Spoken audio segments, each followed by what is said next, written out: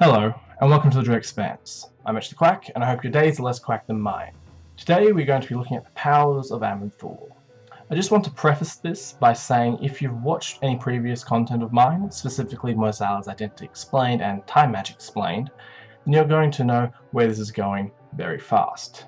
However, this time, I may have actually found something that proves those quacked theories. If you'd like to support the creation of this content, hit the subscribe button. If you like this content, hit the like button. And if you'd like to stay notified on the quackery, hit the bell or you can follow me on Twitter. Okay, so to begin with, this is a quack theory. An extremely quack theory. It's not the most quacked theory, but it's still pretty quacked. With that said though, the base of this theory is pretty simple, and if the line of logic is correct, then this is going to explain a lot. Now, I need to establish a few basic rules. The reason I'm doing this is because if you don't agree with these rules, then it's certain you're not going to agree with this theory. Rule 1. All magics in World of Warcraft have distinguishable traits. To simplify that, do you agree magic in World of Warcraft isn't a complete mess? As in, do you agree there is some type of magical system in place? So, for example, the light and the void can both raise the dead. They can both create the same effect. That effect in this case being resurrection. However, the light specifically relates to hope, valor, healing, etc., etc., while the void relates to fear, despair, consumption, etc., etc., proving the two magics have intrinsically different traits. What I'm basically asking is do you think all magics, including order, chaos, life and death, and the elements in World of Warcraft, have identifiable traits and effects? I believe they do. Rule 2. Aman'Thul has control over time. This is pretty straightforward. Considering everything Aman'Thul has done, do you think he can manipulate time? Yes or no? The answer is no, then you will definitely disagree with this theory. Rule 3. Akunda. Yes, the Thunder Lizard from Vol'dun. Does Akunda have the ability to take away the memories of others? Once again, this is pretty straightforward. If you have experienced the Vol'dun questline, do you think a part of Akunda's power set is the ability to remove the memories of others? To my knowledge, the answer is yes. Akunda does have that power. So, to recap these rules. Rule 1. All magic in World of Warcraft have distinguishable traits. Rule 2. Aman'Thul has some form of control over time. Rule 3. Akunda can and does take away the memories of others. If you disagree with any of these rules, then you are not going to like this theory. Aman'Thul has the ability to manipulate time. It's unknown at this point what magic Aman'Thul uses to manipulate time. The common assumption is Aman'Thul uses arcane magic to manipulate time. This is generally because he's a Titan, who's a part of the Pantheon, who are innately aligned with Order, and arcane magic is the magic that is aligned with Order. Where this is a reasonable line of thinking, I think it is incorrect. The main reason I think it is incorrect is because of the dragon aspects Malygos and Nozdormu, and in turn the Titan Norgannon. When the dragon aspects were turned into dragon aspects, they were empowered by the Pantheon and bestowed a portion of the Titan's power. Aman'Thul empowered Nozdormu and created the Bronze Dragonflight, the Protectors of Time. Norgannon empowered Malygos and created the Blue Dragonflight, the Protectors of Arcane Magic. There is a very distinct difference between Nozdormu and Malygos, and in turn Aman'Thul and Norgannon. One side specifically looks after time, while the other specifically looks after arcane magic. I do not think this distinction is by accident. Arcane magic may be able to manipulate time, but as the first rule points out, different magics can have the same effect but still be innately different. The effect in this case is the ability to manipulate time. The two magics in this case are arcane magic as used by Norgannon, and for lack of a better term at this point, time magic as used by Aman'Thul. Basically, the implication here is there are two ways to manipulate time. One uses arcane magic, the other uses quote-unquote time magic. The question that comes from here though is what constitutes time magic, and in turn what constitutes Aman'Thul's power.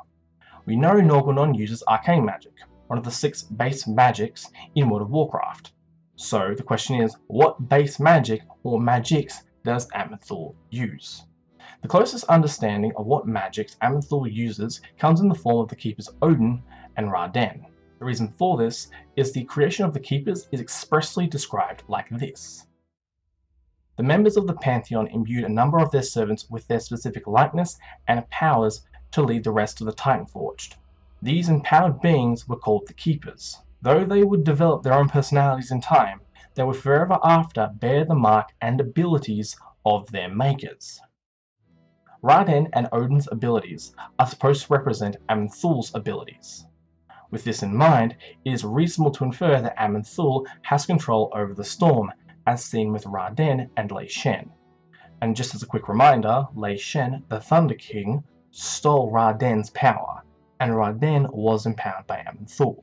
It is also reasonable to infer that Aman'Thul has some command over the light, as seen with Odyn and the Halls of Valor, especially considering Odyn's abilities during the Trial of Valor raid encounter.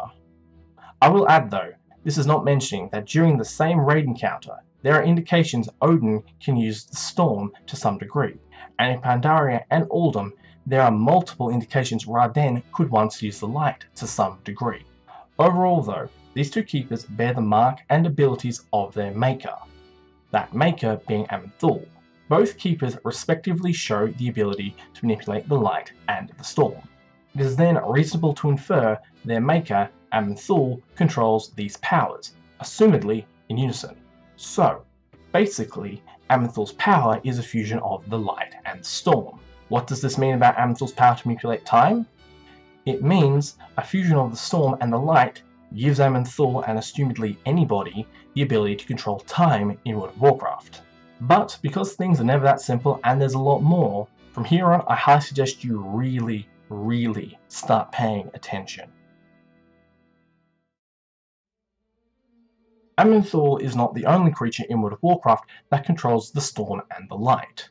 There is another creature that specifically controls the storm and the light. That creature is Akunda. Yes, that thunder lizard from Vol'dun. How do we know this? Firstly, there's the copious amounts of lightning surrounding his temple, and the fact Akunda is a thunder lizard. Secondly, there is Akunda's boon, Holy Storm. Not only that though, a trait the light consistently shows is the need to heal and relieve pain, while also rewarding valor and bravery. Akunda's Tale of Loa consistently hints at these traits, with lines like, the brave be full of wonder, his will can ease your pain, one day he hits with all the force, the next he be kind. When your courage goes astray, when doubt be in your heart, think of the calm before the storm. Now I could break down the entire tale, going to which lines and specific words relate to the light, and their equivocation, but that would take too long. The main point here is that there is definitely a reference to the light within Akunda's tale. Akunda also gives redemption to the exiles of Zandalar by excising dark memories and giving them a new path. Argent Confessor Paletress from the Trial of Champions back in Wrath of the Lich King technically does the same thing. Instead, she just creates a boss encounter for us. The only difference between Paletress and Akunda is Paletress is heavily aligned with the light alone. Overall though, the main point here is Akunda uses a combination of the light and the storm. Now, if you remember the rules from the start, then you've probably realized there is a contradiction here. Certain magics have certain traits and effects, and the traits and effects of the storm and the light combined is the ability to manipulate time as seen with Aman'Thul.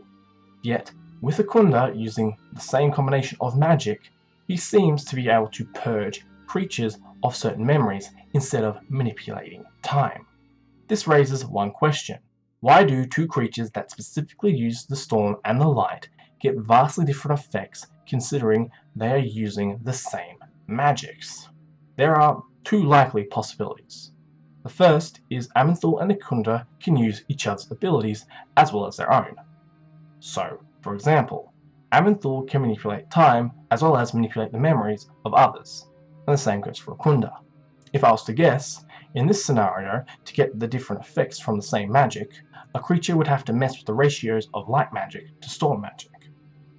This is a possibility, but I believe it to be the least likely possibility. Because where certain magics do have multiple traits and effects, there's usually a closely related theme. For example, light has hope and valor. Life has renewal and growth. Time and memory can share a commonality, but it's a contradictory commonality in my eyes that is not as closely related as other traits present in other magics. The second possibility, and the more quacked one, which I'm subscribed to, is Akunda and Aman'Thul use the same powers, just on vastly different scales. What I'm basically saying is Rule 2 and Rule 3 are not contradictory, but both are accurate. What I'm basically saying is time in WoW works how we, IRL, understand a memory. In other words, in some strange capacity, Azeroth and our actions on Azeroth are taking place within a memory. Basically, our characters and our world are in a living memory. And just so you don't get lost, what I'm saying is Aman'Thul does exactly what Akunda does. He literally removes memories. Except instead of removing memories from a person, Aman'Thul's power is so vast he can remove memories from planets, aka Azeroth. Or, more likely, he can remove memories from the universe itself, altering the present of the universe. I mean, think about it like this. If I was to remove a defining memory of your life, something you've kept for the longest time that has shaped who you are today, you would change as a person. You would be a different person. Now, if this was to happen to the universe, the same thing would occur. The universe would literally shift and become a different universe, which technically equates to time manipulation. Proof of this idea, time is a memory theory, does not only pertain to Aman'Thul and Akunda having the same powers though. If you apply this theory to World of Warcraft, a lot of unrelated things start to align perfectly. The first and foremost is the Bronze Dragonflight. I mean, have you ever wondered why bronze and why sand? The why bronze part is shockingly the simplest answer in the book. The reason the bronze dragons are bronze is because they have some relation to the light. As in, no joke, the color of the bronze was probably their biggest giveaway to what they're aligned to since day one. Similar to how the blue and green dragons coloring show their magical alignment. As for the why sand part, a fun fact about sand is it's great at being manipulated by static electricity as in the form of electricity you can create with a balloon and your hair. Why sand probably relates to the fact the bronze dragons are using some form of low-level storm magic and the light to manipulate the memories of the universe, or at the very least Azeroth. And if you're still a bit skeptical about the static electricity stuff, I highly suggest looking at Saturn's moon Titan. I know the name's distracting, but that is by coincidence. Just make sure to look up what grows on the surface of Titan. The other reason as to why sand, which relates to the World of Warcraft universe being a living memory, is Nozdormu's probable inspiration.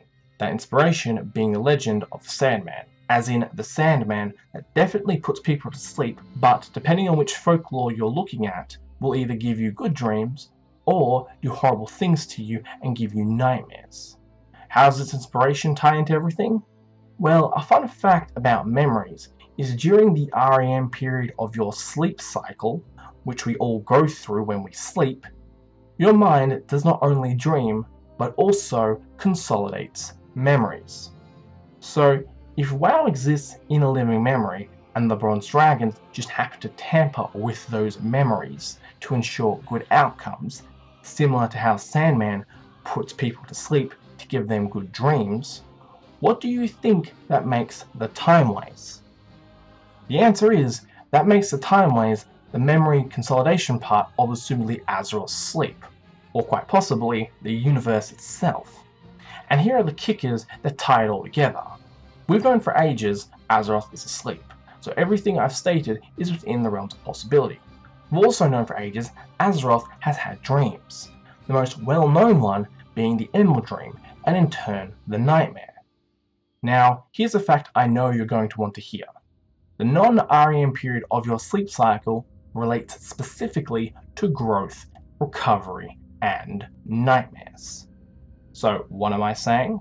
Well, what I'm saying is if we as players exist within what equates to a living memory, then not only does the Emerald Dream make sense, as it basically represents Azeroth's non-REM sleep stage, lining up with how the Emerald Dream affects Azeroth, but what we also have is Azeroth's REM sleep stage and all her memories represented by the timeways, lining up with how they affect Azeroth. And the further joke is Norgannon's title, Dreamweaver, ties the arcane into this as well. Because as this theory has basically been saying, manipulating time in WoW is basically like manipulating memories. So, this means Arcane's temporal magic isn't technically tampering with time. It's actually tampering with the memories of Azeroth and or possibly the universe. This implies arcane magic, the magic Norgannon the Dream Weaver relates to, is somehow connected to the REM sleep stage of sleep, similar to how the timeways are related to the REM sleep stage of sleep. And as Norgannon's title Dream Weaver implies, it should be safe to assume arcane magic, the power Norgannon controls, relates to the dream half of the REM sleep stage, giving quite an explainable reason as to why arcane magic relates to knowledge and innovation, and why keepers Loken and Mimiron gained the abilities they did from Norgannon. What's the saying again? To accomplish great things, we must not only act, but also dream, not only plan, but also believe. That might be a bit out of context, but saying I've always lived with is the best ideas come from dreams. Oh, and yes, what I am implying here is the Emerald Dream and the Timeways are very similar to each other, but what I'm also implying is that there is an arcane version of the Emerald Dream and all the Timeways somewhere out there in the universe. And so just as a full recap, Aman'Thul and Akunda use the same type of magic. They use a combination of the light and the storm. This combination gives them the power over memories. It just happens though, Aman'Thul is expressly related to time manipulation. So either A, both entities can manipulate time and memories, which I believe to be unlikely, or B, as quacked as it sounds, time in World of Warcraft is a memory, and the World of Warcraft universe, or at the very least Azeroth, exists within a living memory. This relation ties time magic in World of Warcraft to the manipulation of memories. In turn, due to the prevalence of the concept of sleep and dreaming in WoW, the timeways can be connected to the memory consolidation aspect of the REM sleep stage. This connection is mainly due to the Bronze Dragons, in particular Nozdormu showing considerable inspiration from the IRL legend of the Sandman, and in turn a relation to sleep and dreams, while also being known as the Keeper of Time.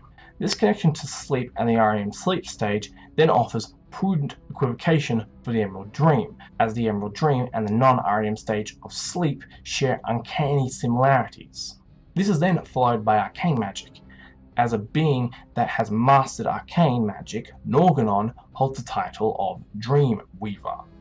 The implication of this title, within the context of this theory, is arcane magic also relates to the REM stages of sleep specifically the dream aspect of the REM sleep stage. I know this all sounds a bit quacked, but for all those that have had any inkling towards the idea that Azeroth is Azathoth from the Cthulhu mythos, this is basically a theory that ties in that idea without expressly mentioning the idea, which I have generally found to be a very good indication as to the accuracy of theories. But, with all that said, do you think this is plausible or possible? leave a comment. The best speculation is always done with the community. If you prefer to talk about your lore though, I usually hang out in the Shinies and Luckydos Discord. And even if I'm not there, the small community that usually is, is amazing to talk lore, speculation, or anything World of Warcraft with. So until next time, have a nice day!